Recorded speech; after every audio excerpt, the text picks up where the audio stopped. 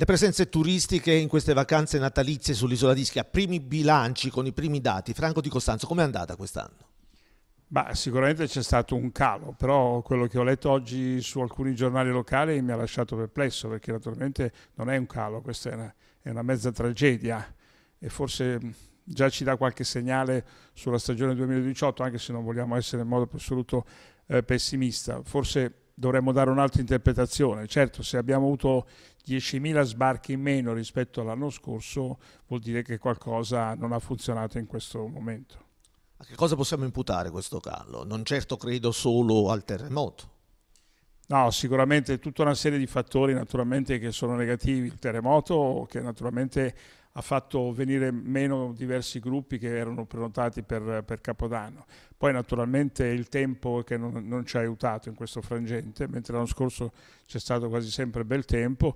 E poi naturalmente, ma questa è una cosa vecchissima, la completa mancanza di programmazione per il periodo invernale, se lo si vuole fare questo turismo invernale, se non lo si vuole fare non lo facciamo, non è una tragedia per nessuno rimanere aperto 3 o 4 giorni e poi dover purtroppo richiudere se non si può fare non si fa, se si deve fare però lo si deve fare sicuramente con altre maniere e con altri numeri, non possiamo continuamente andare avanti con questo squallore, per me è stato, cioè, queste feste sono state abbastanza squallide, naturalmente ha anche aggravato la situazione il, il, il cattivo tempo.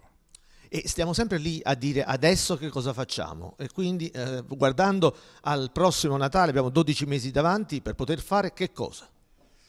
Ma secondo me il discorso di Natale è un discorso un po' difficile. Si potrebbe, se partiamo adesso, cercare di programmare un pochino il prolungamento della stagionalità, portarla eventualmente fino alla fine di novembre, all'inizio di dicembre, poi dopo un po' spezzoni tra Natale e Capodanno e poi dopo iniziare un'altra volta nel mese di aprile.